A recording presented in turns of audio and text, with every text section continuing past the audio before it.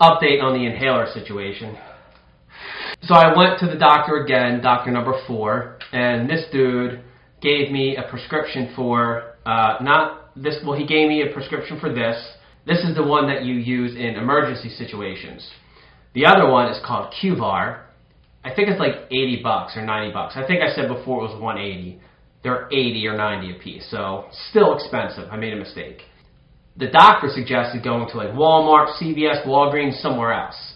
I'm like, oh, cool. So maybe I can afford them. He gives me a prescription, and every single pharmacy I went to all said they don't take Kaiser uh, prescriptions. I don't get it. How is it so difficult to get a couple inhalers? Like, I only have.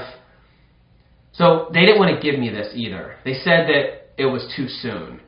So, they want to limit the amount of these that they give out. This is called Ventolin. They don't want to give out too many prescriptions. I guess they want to monitor the use. I don't understand why or what he meant by that. But they didn't want to give me another one. So this, so, and this is where I'm like, I wanted to pull my hair out.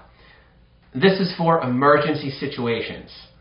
The nurse, she said, are you only using it for emergency situations? I consider not being able to breathe every single time is an emergency situation. She looked at me like I was weird. A buddy of mine needed this uh, cream for his skin, and he went to Mexico. He went to Tijuana and got it for like five bucks for a tube. I can get this Ventolin and the Qvar both in Mexico for like 90% cheaper. So I don't know if that's the right thing to do or not, but I don't care. I want to breathe every day.